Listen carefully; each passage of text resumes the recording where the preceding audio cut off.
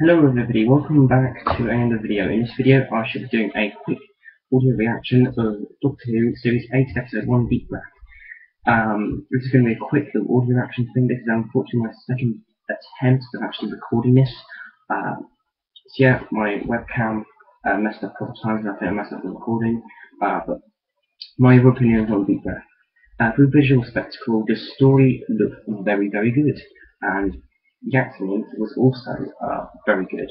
Um, but I mean, nothing really major happened in the story. I mean, yeah, those those robot antagonist uh, things which look really cool, but nothing really major happened in this episode. I it wasn't that good for me personally. It was just a it was just an average episode for me personally. I I didn't really uh, kind of enjoyed it. I didn't really mind it. It just it wasn't that good of a season opener, and yeah, there were some pretty horrendous jokes in it as well.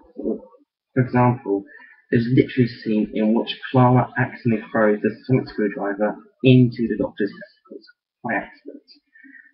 And that's not the only bad joke in this episode, and there was some pretty bad jokes as well. But so yeah, overall, deep breath wasn't that good of a season uh, of a series opener. It was just average for me personally.